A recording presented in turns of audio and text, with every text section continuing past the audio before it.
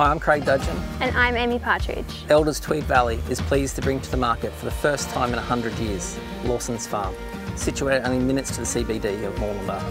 This incredibly private property spans over two kilometres of prime river frontage and 130 acres of highly productive cane land. Let's go check it out.